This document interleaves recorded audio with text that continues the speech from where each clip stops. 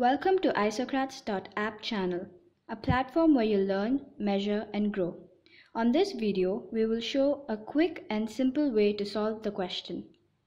First question, match it. First one, sarcoma. Sarcoma is the cancer that occurs in the connective tissue. So, match it with option E, connective tissue cancer. Second one, carcino- carcinoma. Carcinoma is the carcinogenic that is cancer causing cells that causes cancer in the inner lining of the internal organ. So here match it with option A stomach cancer. Polydipsia. Polydipsia is the excessive thirst. So with option B excessive thirst. Fourth one polyphagia. Polyphagia with option C excessive hunger.